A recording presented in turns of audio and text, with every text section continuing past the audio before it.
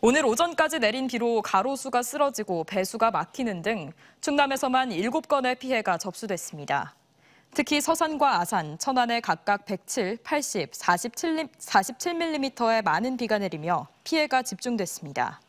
오늘 아침 7시 15분쯤 천안 서북구 불당동의 한 지하차도에선 2차선 중 한 개 차선이 부분 침수돼 출근 시간 교통에 혼잡을 빚었고 아침 9시 20분쯤엔 아산 도고면 효자리의 마을에서 가로수가 쓰러져 도로를 덮치는 등 충남에서 피해가 잇따랐지만 인명피해는 없었습니다.